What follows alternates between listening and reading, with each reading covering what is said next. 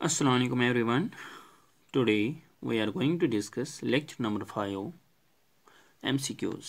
तो आज का जो लेक्चर है, हमारा आई थिंक ये लास्ट लेक्चर है, और इस लेक्चर में जो भी हमने पढ़ा, इसमें हम एम सॉल्व करेंगे, और आपको भी पता चलेगा कि एग्ज़ाम में किस टाइप के आपको क्वेश्चन वहाँ पे देखने को मिलेंगे तो क्वेश्चन नंबर फ़र्स्ट क्या है क्वेश्चन नंबर फ़र्स्ट है ए बायनॉमिल इज़ बायनॉमिल क्या है an expression of second degree, a polynomial, an expression containing only two terms, none of these.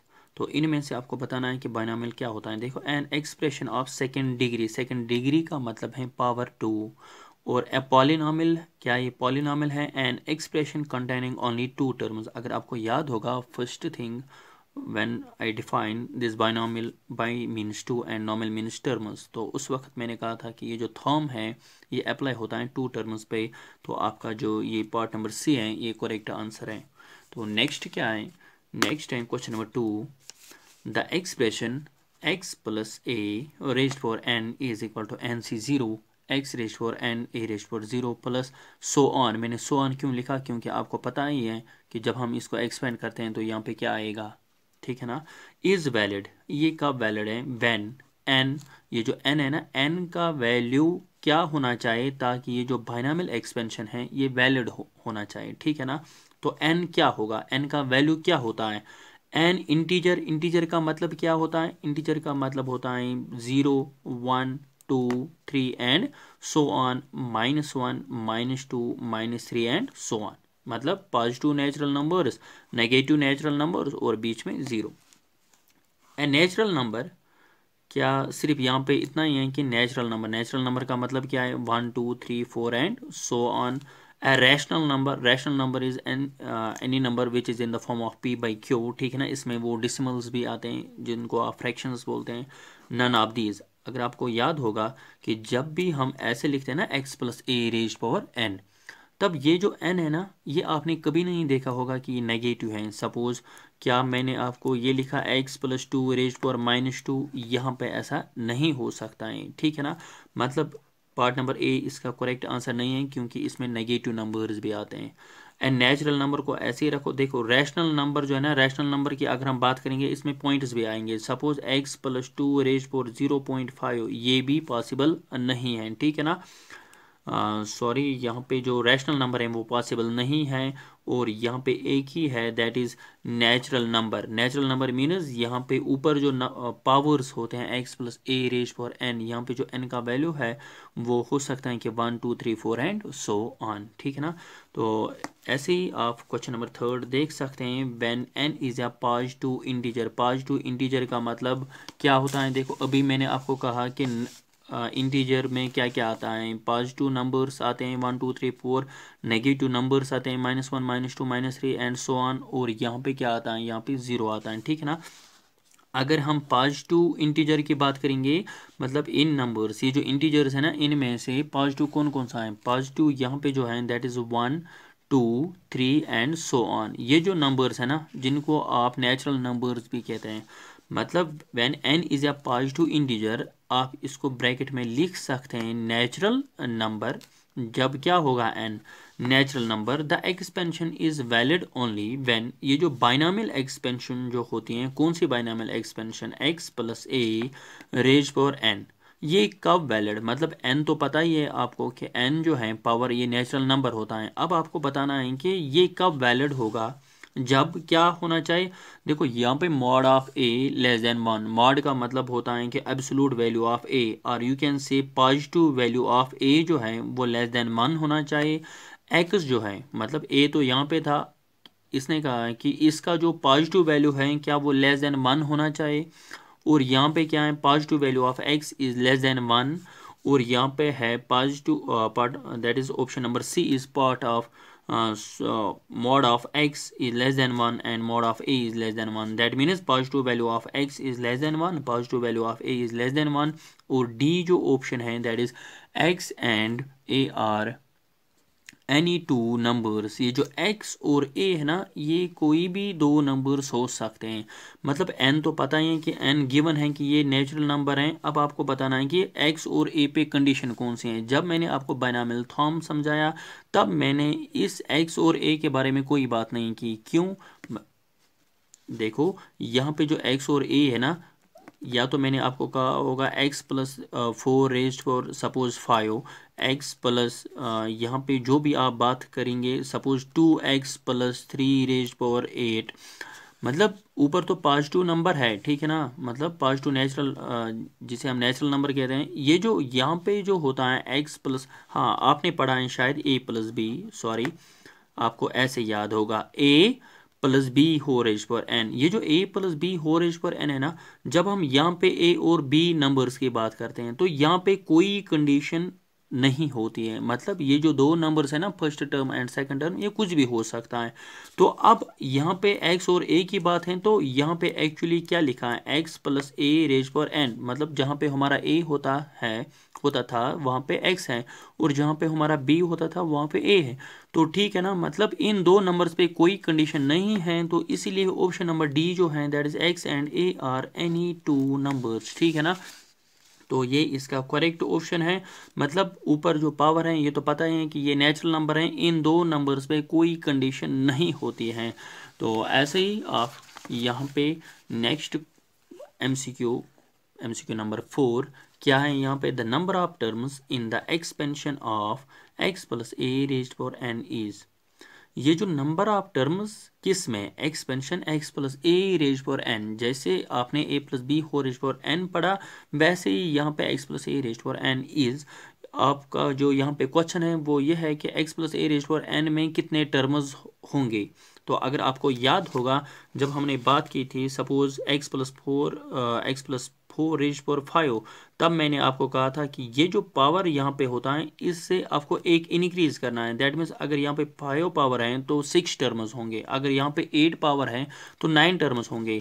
ऐसे ही मैंने आपको ये भी कहा था कि अगर ऊपर एन है तो n plus one number of terms होंगे। ठीक है ना?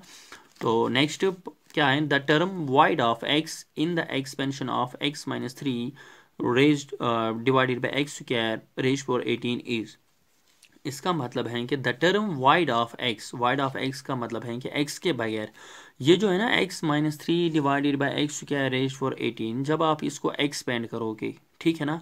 तो जिस टर्म में x नहीं होगा, वो आपको बताना है कि इनमें से वो टर्म कौन सी है? तो उसको कहते हैं void of x void of x का मतलब है कि इसमें ये तो पता ही है कि पावर 18 है तो टर्म्स कितने होंगे? 19 तो अगर टर्म्स 19 होंगे, उन 19 टर्म्स में से वो कौन सी टर्म है जिसमें एक्स नहीं होगा? तो आप कह सकते हैं कि उस जब हम बाइनामल एक्सपेंशन को एक्सपेंड करते हैं, वहाँ पे एक कॉन्स्टेंट टर्म होती है जिसमें एक्स नहीं होता है। तो इसका कहना है कि वही जो कांस्टेंट टर्म है ना, इसमें से कौन सी होगी? तो आपको क्या करना है? आपको सबसे पहले निकालना है जनरल टर्म तो that is t r plus one is equal to क्या होता है? एन सी आर यहाँ पे एन का जो वैल्यू है वो एटीन है तो मैं डायरेक्ट यहाँ पे लिखता हूँ, क्योंकि आपने ये बहुत ही रिवाइज किया होगा। मैंने बार बार जनरल टर्म बताया आपको एटीन सी आर ए मतलब फ़र्स्ट टर्म जो होता है मतलब हमारी जो फ़र्स्ट टर्म है दैट इज़ ए रेज पर एन माइनस आर बट यहाँ पे ए का जो वैल्यू है ना, वो एक्स है रेज पर एन माइनस आर एन हमारा एटीन है माइनस आर ठीक है ना? इंटो और सेकेंड टर्म क्या है? सेकेंड टर्म यहाँ पे minus three divided by x क्या रहे हैं? तो यहाँ पे माइनस है ना माइनस इसके साथ लेना है, क्योंकि हमारा यहाँ पे प्लस होता है। तो अगर आपको ये समझ नहीं आएगा, कल का लेक्चर देखना, जो इससे पहले, जो लेक्चर मैंने अपलोड किया, वहाँ पे मैंने माइनस वाले एक एग्जांपल आपको दिखाई। तो यहाँ पे जो है that is minus three divided by x square raised power यहाँ पे क्या है? रेज्ड पावर आर ठीक है ना? तो अब क्वेश्चन क्या है? क्वेश्चन है कि वाइड ऑफ़ एक्स जिसमें एक्स नहीं होगा। मतलब ऐसी टर्म जिसमें एक्स नहीं होगा। मतलब यहाँ पे जो एक्स है ना रेज पावर क्या है? एटीन माइनस आर ये टर्म नहीं होनी चाहिए। मतलब ये कैंसिल होनी चाहिए। तो आप यहाँ पे देख सकते हैं कि अगर मैं आपको और एक्सपेंड यहाँ पे करके देता हूँ that is eighteen c r ठीक है ना? X raise power eighteen minus r into यहाँ पे क्या है? Minus three raised power r divided by x square raised power r rest power r ठीक है ना? समझ आ रहा है आपको? तो यहाँ पे जो है, ये तब, ये जो टर्म है ना general term eighteen C r x raise for eighteen minus r into minus three raise for r divided by x क्या raise for raise for r ये जो टर्म है, ये तब void of x means x के बगैर आएगी जब ये एक्स और ये एक्स जो है ना, ये आपस में अगर कैंसिल हो जाएँगे, तब यहाँ पे एक्स का निशान नहीं रहेगा, ठीक है ना? मतलब जब एक्स आपस में कैंसिल हो जाएँगे, तब यहाँ पे क्या आएगा? सिर्फ़ आएगा एटीन सी आर और minus three raise for r r minus कुछ वैल्यू होगा। तो हमें क्या आना चाहिए? तो जब भी हमें कौन सी टर्म निकालनी होगी? कांस्टेंट टर्म मतलब एक्स के बगैर तो आपको सोचना है कि ये जो एक्स है ना, ये कैसे हम इसको ख़त्म कर सकते हैं? तो ये तब यहाँ पे ख़त्म होगा x raise for eighteen minus r जब ये जो है ना x square raise for r ये अगर आपस में बराबर होंगे कौन कौन सी term x raise for eighteen minus r x square raise for r अगर ये आपस में बराबर होंगे, तब हम इनको कैंसिल कर सकते हैं और x ख़त्म, ठीक है ना? तो ये कब कौन कौन सी टर्म बराबर? मतलब x raise for eighteen minus r जो है ना, वो किसके बराबर आनी चाहिए? X square raise for r आप कह सकते हैं कि एक्स टू आर मतलब two into r that is two r ठीक है ना? एक्स अगर एक्स के बराबर है तो यहाँ पे पावर क्या है? Eighteen minus r is equal to two r मतलब जब बेस बेस के बराबर होता है, तब पावर पावर के बराबर होता है। तो x अगर x के बराबर है तो 18 माइनस आर जो है ना, इसका वैल्यू टू आर होना चाहिए, ठीक है ना? तो अगर हम यहाँ पे r का वैल्यू निकालेंगे तो r यहाँ से हो जाएगा shift that is three r मतलब r plus two r is three r तो यहाँ पे क्या आएगा three one r three three six r eighteen मतलब आर का जो वैल्यू है ना, वो यहाँ पे हमारा सिक्स आना चाहिए। अगर आपका क्वेश्चन ऐसे होगा कि हमारी टर्म जो है ना वाइड ऑफ़ एक्स इसमें जब एक टर्म वाइड ऑफ़ एक्स होगी, तब आर का वैल्यू जनरल टर्म में जो आर होता है आर का वैल्यू क्या होता है? तो आर का वैल्यू उस वक्त सिक्स है बट हमें टर्म बतानी है, ठीक है ना? तो हम क्या करेंगे? ये जो जनरल टर्म है, इसमें हम r is equal six put करेंगे तो यहाँ पे क्या आएगा? देखो T r plus one r तो सिक्स है ना?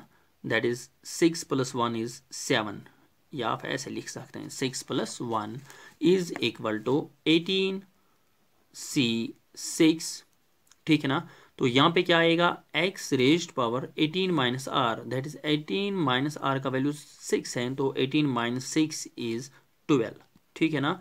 इनटू यहाँ पे क्या आएगा? Minus three raised power r r का वैल्यू क्या है? Six very good divided by यहाँ पे क्या आएगा? देखो एक्स स्क्वायर और आर क्या है? आर तो सिक्स है ना? सिक्स टू आर ट्वेल्व यहाँ पे आएगा ट्वेल्व जब हमने आर पुट किया सिक्स तो यहाँ पे आएगा ट्वेल्व तो अब यहाँ पे देखो, यहाँ पे तो एक्स रेस पर ट्वेल्व है ना? यहाँ पे भी एक्स रेस पर ट्वेल्व है. एक्चुअली हमें यहाँ पे देखना था कि आर का वैल्यू हम क्या पुट करेंगे ताकि ये जो एक्स रेज पर एटीन माइनस आर जो है ना, ये इसके साथ कैंसिल हो जाएगा. अब इतना तो हम सोच नहीं सकते हैं, इसलिए हमने ऐसे प्रोसीजर करके आर का वैल्यू निकाला, ठीक है ना? तो अब क्या हो जाएगा? देखो x raise for twelve x raise for twelve cancel तो यहाँ पे क्या आएगा? T seven is equal to eighteen C six और यहाँ पे क्या है? Minus three raise power six ये जो minus three raise power six है ना माइनस के ऊपर इवन पावर है। जब भी माइनस के ऊपर इवन पावर होता है तो माइनस खत्म। यहाँ पे आएगा थ्री रेज पावर सिक्स तो हमारी जो टर्म है ना सेवंथ टर्म सेवंथ टर्म कौन सी है? Eighteen C six three raise पर सिक्स मतलब इसमें तो एक्स ही नहीं है। तो इसका मतलब है कि हमारी सेवंथ टर्म कॉन्स्टेंट टर्म है, ठीक है ना? आपको यहाँ पे ऑप्शन नंबर बी दिख रहा होगा that is eighteen C six three raise for six ये ऐसी टर्म है जिसमें एक्स नहीं है, ठीक है ना? ऐसा क्वेश्चन आपको मतलब यहाँ पे नंबर्स चेंज होंगे तो करना तो यही है ना मैथमेटिक्स में आपको टाइप दिखना चाहिए। तो प्रैक्टिस तो आपको ऐसे क्वेश्चंस की करनी है। ठीक है ना? तो जब भी आपको कॉन्स्टेंट टर्म निकालनी होगी, तब आपको सोचना है कि ये, इस एक्स को हम मतलब आर का वैल्यू जनरल टर्म जब आपने जनरल टर्म निकाला तो उसके बाद आपको सोचना है कि आर का वैल्यू हम क्या पुट करेंगे, ताकि इस एक्स को हम किसी और एक्स से या एक्स ख़त्म होना चाहिए ठीक है ना? तो ऐसे हमने क्वेश्चन नंबर ये जो एम सी नंबर फाइव है, ये भी किया। आई होप कि आपको समझ आया होगा, ठीक है ना? तो यहाँ पे जो है that is question number six the total number of terms in the expansion x plus a raise for three plus x minus a raise for three after simplification is इसका मतलब क्या है कि आपको बताना है कि x plus a raise for three plus x minus a raise for three इसमें कितने नंबर ऑफ़ टर्म्स हैं। ठीक है ना? तो इसके बाद मैं आपको थोड़ा सा शॉर्टकट भी बताऊँगा बट आप इसका कंसेप्ट देखो कि एक्चुअली ये है क्या? मतलब जब हम इसको एक्सपेंड करेंगे, दोनों को एक्सपेंड करेंगे, फिर हमें देखना है कि लास्ट पे कितने टर्म्स बचते हैं तो वो हमारा आंसर होगा, ठीक है ना? तो यहाँ पे हम क्या करेंगे? सबसे पहले हम x plus a raised power three को एक्सपेंड करेंगे, ठीक है ना? तो x plus a raised power three आपको पता होगा, सबसे पहले हम क्या लिखते हैं? Three C zero three C one three C two three C three इतना ही है ना? तो यहाँ पे जो ए और बी हमारा आता था, हम लिखते थे हर एक जगह a b a b a b a b but यहाँ पे एक्स और ए हैं तो हम लिखेंगे x a x a x a और एक्स ए ठीक है ना इतना? तो अब हमें क्या करना है? बीच में क्या होगा? बीच में यहाँ पे प्लस होगा। ये आपको सब कुछ मैंने आपको क्लियर किया है। तो इसके बाद हमें करना क्या होता है? इसके बाद हमें पावर्स देने होते हैं। मतलब यहाँ पे जो एक्स का पावर होगा, वो थ्री होगा, इसके बाद टू होगा, इसके बाद वन होगा, इसके बाद ज़ीरो होगा। ठीक है ना? और यहाँ पे जो ए का पावर है, वो सबसे पहले मतलब सेकंड टर्म का पावर अगर आपको याद नहीं है कि आप इससे पहले देखो सेकंड टर्म का पावर सबसे पहले ज़ीरो होता है, इसके बाद वन इसके बाद टू और इसके बाद थ्री ठीक है ना? ये हो गया एक्सपेंड क्या हो गया expand x plus a raise for three अब हम क्या एक्सपेंड करेंगे? X minus a raise for three तो यहाँ पे देखो, जब हम इनको एक्सपेंड करेंगे एक्स माइनस थ्री तो आपको पता होगा कि जब हम इसको ऐसे एक्सपेंड करते हैं तो ये जो माइनस है ना, ये ए के साथ रखते हैं। या आप यहाँ पे, मैं आपको शॉर्टकट बताऊँगा। जब आपको प्लस होगा तो हर एक जगह प्लस जब आपको बीच में माइनस है ना, यही लिखना है। बट साइन का क्या करना है? देखो, यहाँ पे आपको समझ आएगा। सबसे पहले आप यही लिखो three C zero three C one three C two three C three ठीक है ना इतना? तो इसके बाद आपको क्या करना है? एक्स ए मतलब दो टर्म्स है ना? एक्स ए हर एक जगह लिखना है आपको। एक्स ए एक्स ए फिर आप प्लस प्लस प्लस हर एक जगह देते थे ना? बट यहाँ पे क्या है बीच में? यहाँ पे माइनस है तो आप क्या करोगे? First term positive second term negative third term positive fourth term negative ठीक है ना? ये आपके लिए शॉर्टकट है। ऐसे अगर आपको बीच में माइनस होगा तो आप प्लस माइनस प्लस माइनस करके आप देख सकते हैं। ठीक है ना? अगर आपको ऐसे समझ नहीं आएगा आई थिंक ये तो ईजी है। कल मैंने इसको ये भी किया है कि ये कैसे प्लस माइनस आता है, इससे पहले जो क्वेश्चन था फोर्थ लेक्चर में। ठीक है ना? अब हमें क्या करना है? देखो एक्स प्लस ए रेज पर थ्री को हमने एक्सपेंड किया।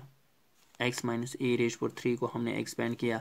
अब इनको बीच में ऐड करना है। मतलब ये जो दोनों है ना, इनको आपस में अगर हम ऐड करेंगे तो यहाँ पे क्या आएगा? देखो, यहाँ पे जब हम इनको एक्सपेंड ऐड करेंगे तो यहाँ पे आएगा x plus a raise power three plus x minus a raise power three ठीक है ना? इज़ इक्वल टू देखो, जब हमने इनको एडिशन किया तो यहाँ पे three C zero x raise पर थ्री ए रेज पर ज़ीरो है। यहाँ पे भी three C zero x raise पर सॉरी हमने अभी पावर्स नहीं दिए हैं। That is three two one zero और यहाँ पे ज़ीरो वन टू थ्री ठीक है ना? तो अब हमें करना क्या है? देखो, आप यहाँ पे देख सकते हैं three C zero x this term और दिस टर्म जो है ना, ये सेम टू सेम है। तो अगर ये सेम टू सेम है तो जब हम इनका एडिशन करेंगे ना, ये यही टर्म आएगी बट टू टाइम्स आएगी। That is three C zero x raise for three, a raise for zero. अगर आपको ऐसे समझ नहीं आएगा, देखो, फोर प्लस फोर जो है ना, फोर प्लस फोर, ये तो पता ही है आपको कि ये एट के बराबर होता है, ठीक है ना? बट हम इसको ऐसे भी लिख सकते हैं ना कि अगर दो टर्म सेम हैं, जब हम, हमें इनका एडिशन करना है तो हम ऐसे लिख सकते हैं ना टू टाइम्स फोर मतलब जो भी टर्म है, वो टू टाइम्स हैं दैट इज़ वो भी हो जाएगा ना टू फोर आर एट ठीक है ना? ऐसे आप लिख सकते हैं four plus four plus four अगर ये थ्री टाइम्स है ना, आप ऐसे भी लिख सकते हैं ना मतलब three times four that is twelve तो ऐसे ही यहाँ पे आप देखो, जब हम इनका एडिशन करेंगे सेम टर्म्स हैं तो ये आ जाएगा टू टाइम्स देखो, ऊपर जो है ना प्लस थ्री सी वन ये टर्म है x square a one minus three C one x square a one same to same है ना? तो जब सेम टू सेम है, ऊपर की जो साइन है, वो प्लस है, नीचे जो साइन है, वो माइनस है, ये आपस में कैंसिल हो जाएँगे. ठीक है ना? इसके बाद three C two x raise for x one a square three C two x one a square जब हम इनका एडिशन करेंगे तो वो आएगा two times three C two x a square आया समझ में? ऐसे ही यहाँ पे आप देख सकते हैं कि यहाँ पे ये दोनों टर्म्स कैंसिल हो जाएँगे। रीजन सेम है, ठीक है ना? प्लस माइनस है टर्म्स सेम है। तो अब मुझे बताओ, जब हमने इसको एक्सपेंड किया, किसको? ये जो क्वेश्चन में था तो हमारे पास कितने टर्म्स आ गई? एक, दो। समझ आ रहा है आपको? तो कितने टर्म्स आ गए दो टर्म्स मतलब टू टर्म्स इसका आंसर जो है, वो क्या है? वो टू टर्म्स हैं। The total number of terms जो हैं, वो टू टर्म्स हैं। अब मैं आपको इसका शॉर्टकट बताता हूँ। शॉर्टकट है, देखो यहाँ पे यहाँ पे x प्लस ए है, यहाँ पे x माइनस ए पावर यहाँ पे सेम टू सेम है। मतलब दोनों टर्म्स यहाँ पे सेम टू सेम है। बस फ़र्क किसकी है? यहाँ पे प्लस है, यहाँ पे माइनस है। अगर आपको ऐसा कुछ दिखेगा ना, आपको करना क्या है? देखो, जब हम x प्लस ए रेज पर थ्री को एक्सपेंड करेंगे, यहाँ पे पावर थ्री है तो टर्म्स कितने आएँगे? टर्म्स तो फोर आएँगे ना? मतलब अगर यहाँ पे इसकी फोर टर्म्स आएँगे, इसके फोर टर्म्स आएँगे। मतलब अगर इसके फोर ये जो है ना, जब हमने क्या किया, इसके फोर टर्म्स लिखे, इसके फोर टर्म्स लिखे तो अब वो तो एग ख़त्म हो जाएँगे ना दो दो टर्म्स ख़त्म हो जाएँगे। मतलब आपको सिंपल इतना ही याद रखना है कि जो पावर होगा सपोज़ थ्री अगर पावर थ्री है तो आपको पता है कि टर्म्स कितने होंगे। फोर टर्म्स बट अगर ये इस फॉर्म में है मतलब इनके बीच में प्लस हैं ठीक है ना? तो आपको लिखना है कि इसका नेसब क्या है? फोर टर्म्स का नेसब टू तो आपका जो आंसर है वो टू टर्म्स होगा। समझ आ रहा है आपको? मतलब अगर आपको पावर थ्री है total number of terms four होंगे, ठीक है ना? अगर हम डायरेक्ट करेंगे मतलब यहाँ से फोर यहाँ से फोर फिर हम कैंसिल करेंगे, वहाँ पे जो बचेगा, वो सिर्फ़ इसका नेसब बचेगा दैट इज़ टू टर्म्स ठीक है ना? अब अगर पावर फाइव होगा सपोज़ तो टर्म्स कितने होंगे? टर्म्स होंगे सिक्स टर्म्स ठीक है ना? टोटल नंबर ऑफ़ टर्म जो है, वो सिक्स टर्म्स होंगे। बट हमें इसका नेसअप लेना है।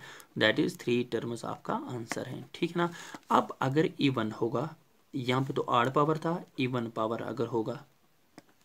इवन पावर का मतलब क्या है? सपोज़ अगर पावर फोर होगा तो टर्म्स तो एक ज़्यादा है ना? टर्म्स कितनी होंगी? फाइव टर्म्स इसका नेसअप क्या है? इसका नेसअप है फाइव का नेसअप क्या होता है? टू पॉइंट फाइव बट ऐसा मैं नहीं कह सकता ना कि 2.5 टर्म्स मतलब ऐसा नहीं होता है। या तो टू टर्म्स होते हैं या तो थ्री टर्म्स होते हैं। डाई टर्म तो नहीं होती है ना। बट आपको क्या लेना है? आपको आधा इसको ऐड करना है। मतलब पाँच का जो हाफ़ है दैट इज़ 2.5 बट आपको अप्रॉक्सीमेटली ऊपर का लेना है। दैट इज़ थ्री टर्म्स इसमें भी होंगे। किसमें? अगर पावर फोर होगा तो इसमें कितने टर्म्स होंगे? थ्री टर्म्स समझ आ रहा है? तो या तो आप आ, यहाँ पे भी एक और एग्जांपल देख सकते हैं। सपोज़ आपका पावर एट है, ठीक है ना? नंबर ऑफ़ टर्म्स कितने होंगे? नाइन अगर नंबर ऑफ़ टर्म्स नाइन होंगे तो आपका यहाँ पे जो नेसफ है that is four point five क्या है? Four point five but four point five आपको नहीं लेना है, आपको अप्रॉक्सीमेटली लेना है फाइव मतलब जो ऊपर का नंबर है दैट इज़ फाइव ठीक है ना? तो फाइव टर्म्स होंगे। आप यहाँ पे देख सकते हैं। सपोज़ यहाँ पे x प्लस ए रेज पर four x plus x minus a raise पर फोर है तो यहाँ पे क्या है? टोटल नंबर ऑफ़ टर्म्स आपको बताना है। क्वेश्चन सेम टू सेम है, बस इतना ही फ़र्क है, यहाँ पे पावर क्या है? पावर फोर है। तो आपको पावर फोर है ना? मैं डायरेक्ट बताता हूँ। टर्म्स कितने होंगे? टर्म्स फाइव होंगे। बट आपको क्या लेना है? इसका नेसअप दैट इज़ वो क्या होता है? डाई ठीक है ना? That is two point five but आपको क्या लेना है? टू पॉइंट फाइव टर्म्स नहीं होते हैं। आपको लेना है थ्री जो ऊपर है। ठीक है ना? एड मतलब एड पॉइंट फाइव करना है दैट इज़ थ्री टर्म्स होंगे। बट मैंने आपको ऐसे ही डायरेक्ट बताया, आप इसको एक्सपेंड जैसे हमने इसको एक्सपेंड किया, आप ऐसे भी देख सकते हैं, ठीक है ना? तो ये था क्वेश्चन नंबर सेवन अब यहाँ पे क्वेश्चन नंबर एट है। General term of expansion x plus a raised for n is आपको बताना है कि जनरल टर्म इसकी, किसकी? X plus a raised for n की जनरल टर्म क्या है? वो आपके लिए होम असाइनमेंट है, क्योंकि आपको बताएँ कि जनरल टर्म हम कैसे निकालते हैं, ठीक है ना? Middle term in the expansion देखो ये हमारा जो क्वेश्चन है ना a q plus b a raised for twenty eight is इसकी मिडल टर्म क्या है? तो आप तो खुद कर सकते हैं ना। मतलब आपको ट्वेंटी एट, सपोज़ सबसे पहले आपको क्या निकालना है? मैं आपको हिंट देता हूँ, करना खुद ही है। तो सबसे पहले आप इसकी जनरल टर्म निकालो। वो आएगा ना ऐसे T r plus one something n C r जो भी होगा, ठीक है? तो इसके बाद यहाँ पे पावर है ट्वेंटी एट। अगर आपको पता है कि पावर ट्वेंटी एट है तो टर्म्स कितने होंगे? ट्वेंटी नाइन मतलब T one T two T three and so on up to T twenty nine terms होंगे। अब मिडल कौन सी होगी? यहाँ पे क्या लिखा है मिडल मिडल जो होगी, वो होगी मतलब अगर ये ट्वेंटी नाइन टर्म्स हैं, यहाँ पे, यहाँ से फोर्टीन हम छोड़ देंगे, यहाँ से फोर्टीन हम छोड़ देंगे, बीच में वो जो एक टर्म है ना, वो कौन सी टर्म होंगे? देखो, जब हमने फोर्टीन टर्म्स यहाँ से छोड़ दिए तो वो जो नेक्स्ट है ना, वो फिफ्टीन टर्म होगी. That is T fifteen middle term आपको जो निकालना है ना, वो फिफ्टीन टर्म तो जनरल टर्म आपने जब निकाला, यहाँ पे टी आर प्लस वन का वैल्यू आएगा. Put r is equal to fourteen आपको करना है, तब आपको टी फिफ्टीन का वैल्यू आएगा. तो टी फिफ्टीन का वैल्यू चाहे तो वन तो यहाँ पे है तो r is equal to fourteen r is equal to fourteen put करना. तो जब आप r is equal to fourteen put करोगे, जो आपकी जो T fifteen minus fifteen term होगी, वो आपकी मिडल टर्म होगी। आप यहाँ पे देख सकते हैं पावर ट्वेंटी एट है। आप इसको एक्सपेंड नहीं कर सकते फिर मिडल टर्म वो तो लंबा प्रोसेस है, इसीलिए हम यहाँ पे जनरल टर्म का यूज़ कर सकते हैं, ठीक है ना? तो क्वेश्चन नंबर जो लास्ट है that is ten middle term of P by two plus two raise four eight is one one two zero given है कि इसकी जो मिडल टर्म है, वो वन वन टू ज़ीरो है। आपको बताना है कि ये जो पी यहाँ पे ना पी बीच में, ठीक है, इसका वैल्यू क्या होगा? मतलब आपको यहाँ पे पी का वैल्यू बताना है ताकि इसकी जो मिडिल टर्म है, उसका वैल्यू क्या होना चाहिए? वन वन टू ज़ीरो सबसे पहले हम इसकी मिडिल टर्म ये मैं आपको दिखाता हूँ, ठीक है ना? तो जैसे मैं यहाँ पे करूँगा, वैसे ही आपको ऊपर जो क्वेश्चन नंबर नाइन है, वैसे ही करना है। तो सबसे पहले हम क्या करेंगे? मिडिल टर्म इसकी देखेंगे। देखो टी आर प्लस वन किसके बराबर होता है? N C r a raised for n minus r b raised for r तो आपको यहाँ पे जो है T r plus one is equal to n का जो वैल्यू है, वो ऊपर एट है C r a minus first first term जो है ना, वो पी बाई टू है. P P by two raised for क्या है? N minus r that is eight minus r b minus second term second term क्या है? टू रेज फॉर आर है ना? यही तो ठीक है. अब करना क्या है इसका? हमें मिडिल टर्म निकालना है, ठीक है ना? तो मिडिल टर्म का मतलब क्या है? मिडिल टर्म का मतलब है कि अगर यहाँ पे एट पावर है तो टोटल नंबर ऑफ़ टर्म्स कितने होंगे? टोटल नंबर ऑफ़ टर्म्स जो होंगे, वो होंगे नाइन मतलब T one T two T three ऐसे ही four five six seven eight nine आपको जो मिडिल टर्म यहाँ पे है मिडिल टर्म गिवन है तो जब हम इसकी मिडिल टर्म निकालेंगे, सबसे पहले हमें पता होना चाहिए कि मिडिल टर्म कौन सी है। मतलब टी फोर तक यहाँ से छोड़ देंगे टी यहाँ से फोर टर्म छोड़ देंगे। ये जो बीच में टर्म है ना that is T five middle term है। तो हमारी टी फाइव जो है ना, वो क्या है? मिडिल टर्म हम टी फाइव का वैल्यू निकालेंगे। तो आर का जो वैल्यू है, वो हम यहाँ पे पुट करेंगे। Put r is equal to four तो जब आप फोर पुट करोगे ना, एक कम, तब आपको टी फाइव का वैल्यू निकलेगा। देखो, यहाँ पे आर का वैल्यू फोर पुट करेंगे फोर प्लस वन किसके बराबर? फाइव यहाँ पे आएगा eight C four P divided by two ऐसे ही। ठीक है ना? तो यहाँ पे क्या आएगा? Eight minus eight minus r का वैल्यू क्या है? फोर तो eight minus four is four into यहाँ पे है two raise power that is r r का वैल्यू क्या है? फोर तो टी फाइव जो है ना is equal to eight C four जब आप इसको एक्सपेंड करोगे आई थिंक वो सेवेंटी के बराबर आएगा into P raise power four देखो, ये जो पावर है ना, ये न्यूमिनेटर का भी है डिनोमिनेटर का भी है तो that is two raise power four into two raise power four ठीक है ना? तो two raise power four two raise power four cancel ठीक है ना? अब ये जो टी फाइव है ना, ये कौन सी टर्म है? ये मिडिल टर्म है बट आपको गिवन है कि मिडिल टर्म जो है ना, वो किसके बराबर है? One one two zero. T five का जो वैल्यू है, वो आप यहाँ पे पुट कर सकते हैं one one two zero. Is equal to seventy into P raise power four ठीक है ना?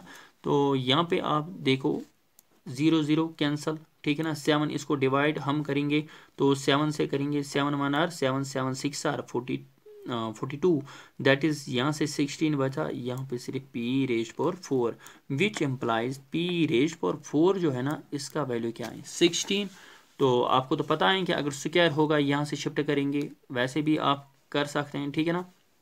आप मुझे बताओ पी पी का वैल्यू हम क्या पुट करेंगे ताकि उसका जो आंसर है वो क्या होगा? सिक्सटीन ठीक है ना? आप ऐसे ही ऑप्शन में उस वक्त देख सकते हैं कि पी का वैल्यू यहाँ पे कौन कौन सा सेटिस्फाई करता है। सपोज़ आपको होगा पी का वैल्यू है थ्री माइनस थ्री ठीक है ना? P is equal to two minus two P is equal to four minus four आप एक एक करके यहाँ पे पुट कर सकते हैं कि यहाँ पे किसका आंसर सिक्सटीन आता है। तो आप देखो यहाँ पे अगर हम टू पुट करेंगे ना two raise power four sixteen के बराबर होता है, ठीक है ना? मतलब P का वैल्यू हम यहाँ पे टू पुट कर सकते हैं। ऐसे ही माइनस टू जो है ना, अगर आप माइनस टू को भी यहाँ पे पुट करोगे, तब भी वो किसके बराबर आएगा? सिक्सटीन के बराबर। इसका मतलब है कि पी का वैल्यू टू भी आता है माइनस टू भी आता है। ये आपका उस वक्त आंसर होगा। आई थिंक आपको ये लेक्चर अच्छे से समझ आया होगा। कमेंट बॉक्स में ज़रूर बताना। ठीक है तो ये हाई लेवल के क्वेश्चंस भी थे। इतने इजी भी नहीं थे, और आई होप कि जहाँ से भी आपने इसको पढ़ा होगा, आपने ऐसे टाइप के क्वेश्चंस नहीं देखे होंगे। तो अगर आपको इस सेशन ये जो सेशन है पसंद आया होगा देन सेशन को लाइक करो और शेयर करो और अपने फ्रेंड्स के साथ शेयर करो, ठीक है ना? बस रखते हैं इतना ही। मिलेंगे हम नेक्स्ट लेक्चर में। तब तक के लिए टेक केयर अल्लाह हाफिज़।